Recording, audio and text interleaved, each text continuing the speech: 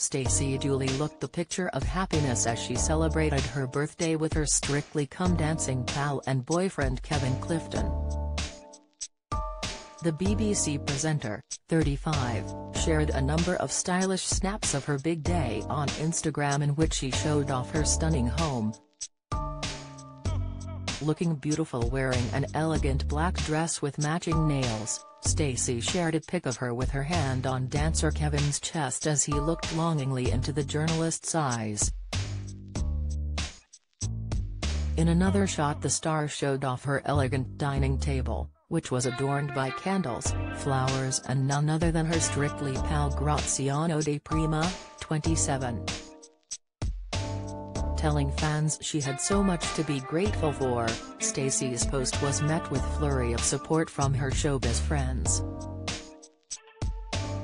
Ex-EastEnders actress Emma Barton replied, Beauty, while presenter AJ Odudu also wished her pal happy birthday. In what looked like a fab night, Stacey shared a video of her dancing along with other snaps of her posing with her friends in her gorgeous home. Stacey and Kevin, 39, moved in together after falling for each other after they won Strictly Come Dancing in 2018. After she waltzed off with the Strictly Glitterball trophy in 2018, Stacey split from her boyfriend of five years, Sam Tucknott. In the same year Kevin divorced fellow Strictly professional dancer Karen Hauer. Stacey and her beau recently sparked engagement rumors with a sweet photo taken during a trip to Sweden. In it the presenter looks quizzically at the camera with her finger on her lips as she sports a gold ring on her pinky. Fans immediately thought something had happened with one asking, what are you two keeping a secret? followed by heart emojis. While fan probed, engaged? With several other followers asking the same question.